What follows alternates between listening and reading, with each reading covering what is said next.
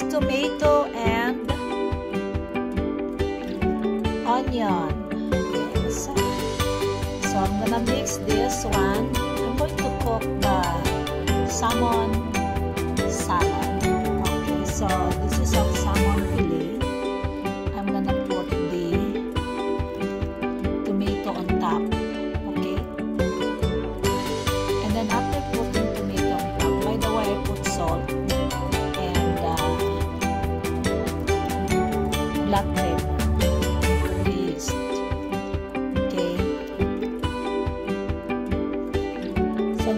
Put all of this.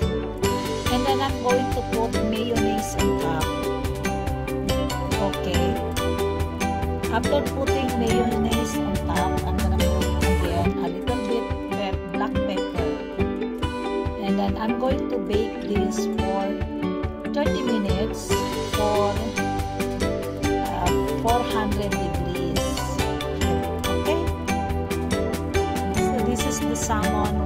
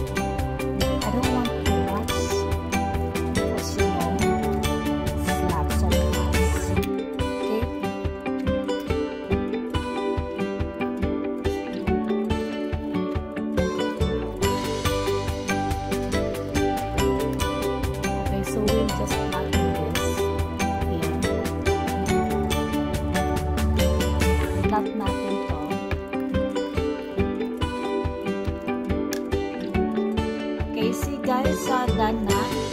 Na-flat, flatten ko na yung mayonnaise on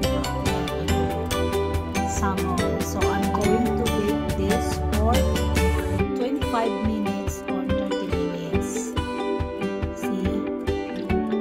mayonnaise on top. So this is I'm going to bake this. Okay, this is baked salad salmon.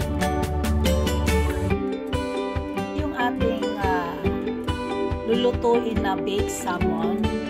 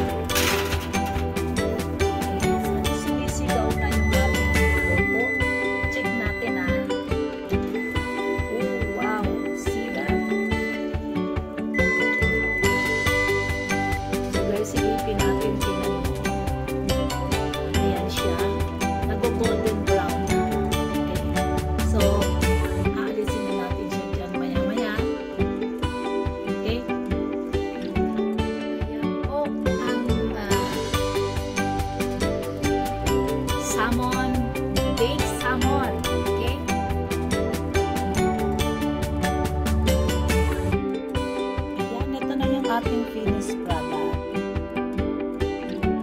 Baked salmon.